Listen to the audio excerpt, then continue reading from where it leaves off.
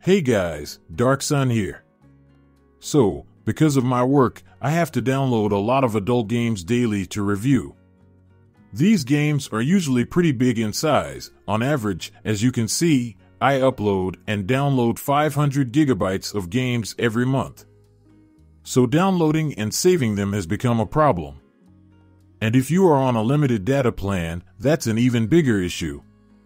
So today I will show you how to download compressed files to save data and space. And as you can see, the difference is barely noticeable. Let's start. First, go to the site of F95 Zone and search the game's main page. In the search section, make sure this thread is selected and type compressed.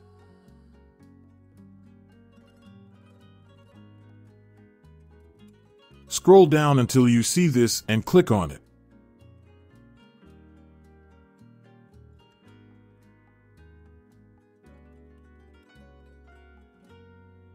Here are the compressed game links.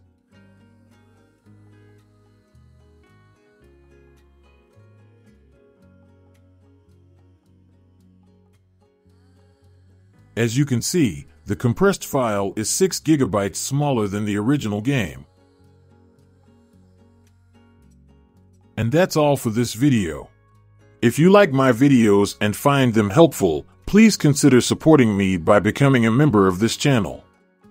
The memberships start at only 89 rupees, and you get many perks like content polls, getting new videos faster, and my 4 gigabytes plus save files for all new and completed games, and many more.